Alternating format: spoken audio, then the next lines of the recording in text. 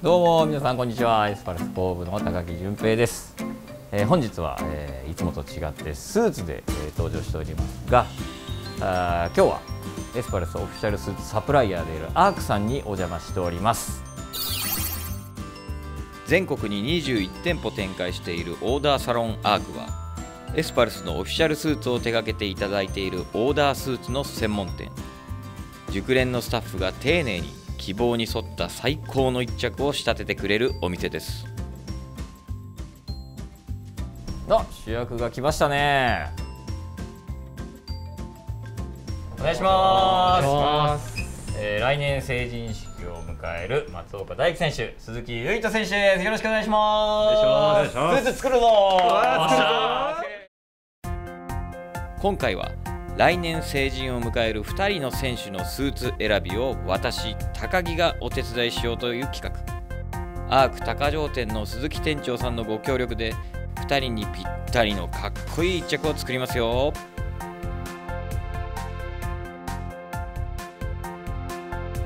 行こうぜ！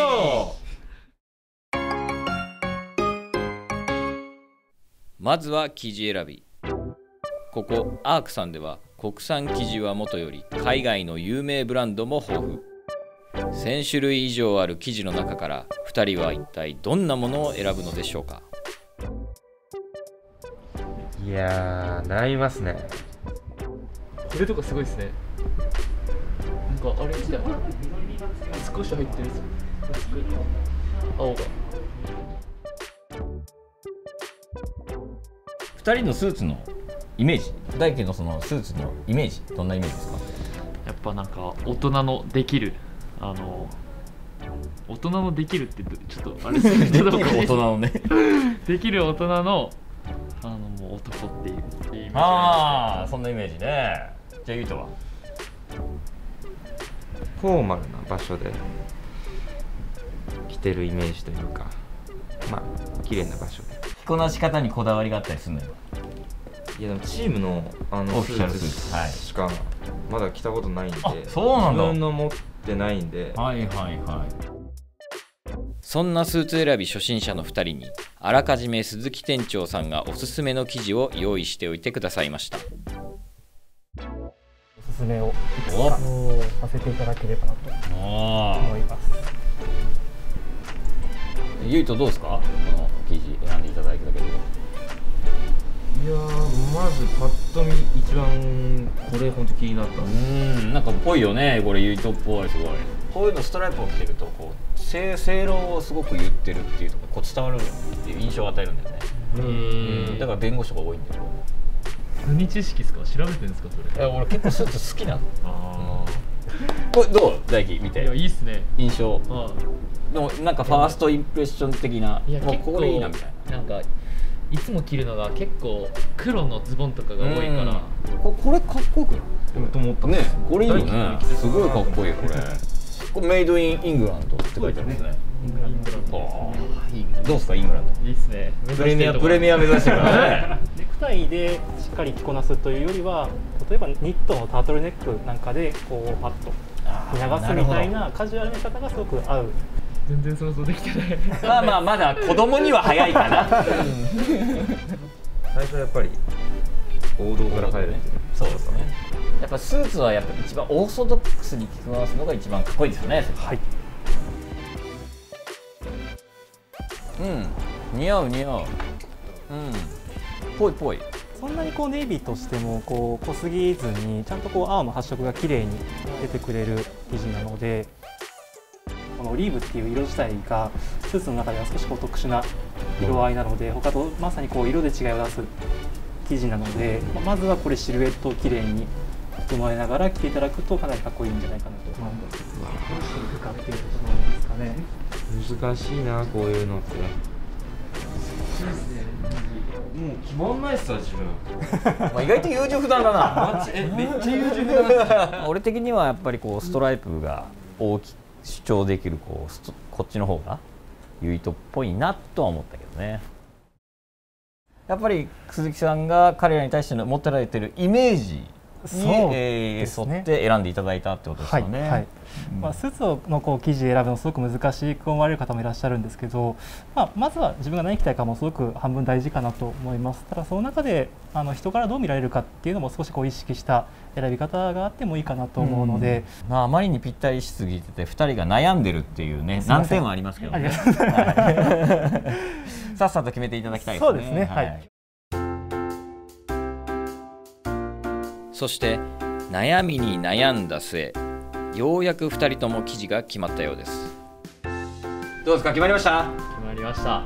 イエス来ましたね。すごい軽い人一人いますけども、えー、じゃあ大輝からはい、どの記事にしたかどうぞお願いします、はい、悩んだんですけど自分はこの記事にしました。あー！鈴木さんからお勧めいただいた一つに入ってましたやつねこれ大輝選んだポイント聞かせてもらいます。まずはこう自分のイメージに合ってるっていう意見をいただいて、あとはもうこのこのメイドインイングランドっていうところにちょっと目がいっちゃってあの自分のまあ目標であるまあプレミアリーグでうん。活躍するっていうところは自分の目標でもあるので、うん。さあ続いてゆうと。何を選びましたか？こちらです。ああ来ました。ストライプですね。最終的に選んだのは。すごいねオリーーブと悩んでたけど。そうなんです。どどうなんでこれ決め決め手になったの？決め手ですかね、まああのーそれこそ本当大輝と同じなんですけど、うん。あのイメージこういうイメージっていうのを本当にあの言っていただいたので、うん。まあ、それが大きかったんですけどやっぱ最終的にはやっぱ大人っぽさ出していきたいなっていうのがでなんか一つうんちくを言うと人の印象は3秒で決まるって言われてる第一印象から。そう。それメラビアンの法則って言うんだけどそれぐらいね印象って重要なの、まあ、服装というか見た目。もう服装だけじゃなくてこう清潔にしてることがすごく大事なんだよね。これね覚えておいてほしい。大人になるにつれてとっても重要になってくる。ありがとうございます、はいありがとうございます。豆知識ありがとうございます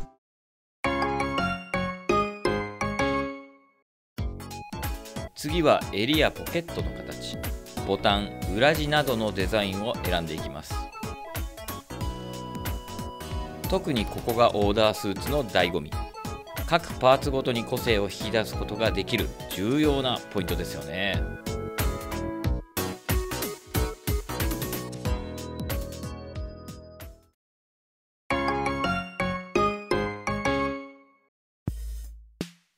そしてデザインが決まると最後に採寸です。98.5ですかね。松岡選手の脅威98.5でございます。って言われても分かんなくなる98.5だって。それで終わりっすよ。ユイとのお脅威何センチでしょうか？95.5センチです。ユイとの脅威バストは95.5センチ。ユイとのバストは95.5センチ。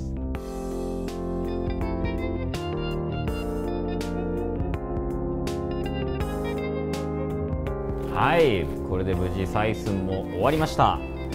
あー1ヶ月後の完成を楽しみにしましょう。よいしょ。よいしょ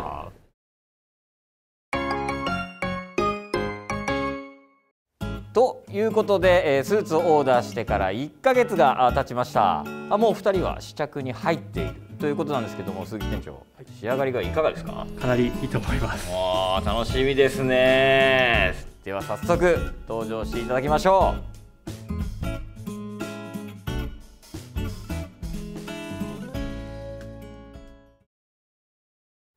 う。まずはあ鈴木唯人選手です。どうぞ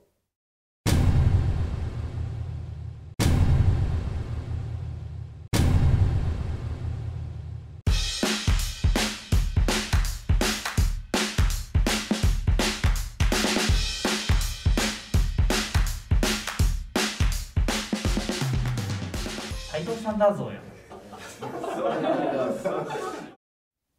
続いて松岡大樹選手です。どうぞ。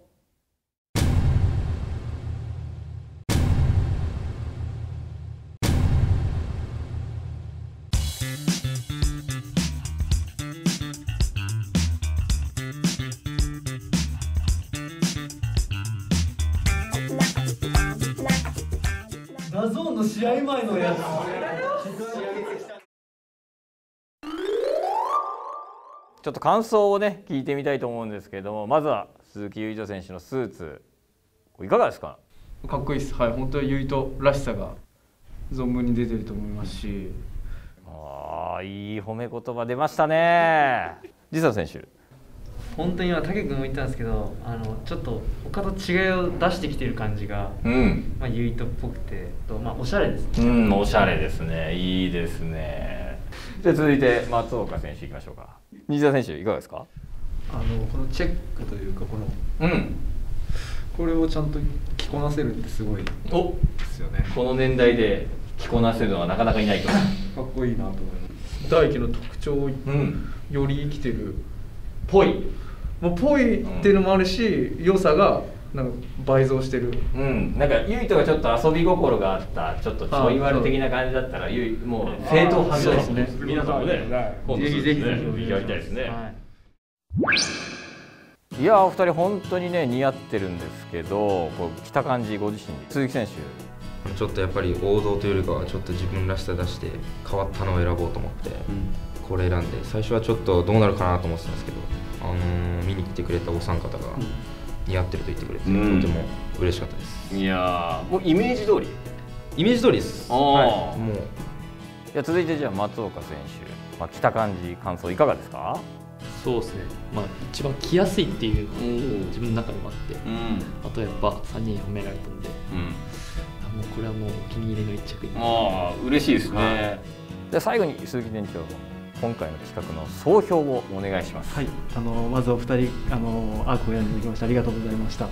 えっとそうですね。とてもあのお二人のキャラに合ったものがご提供ご提供できたんじゃないかなと思いますので、ぜひあの末永くお付き合いいただければなと思います。あおりがとうございました。新成人の皆さん、えースーツのオーダーもこれはアークさんでも決まりですね、えー皆さんのご来店をお待ちしています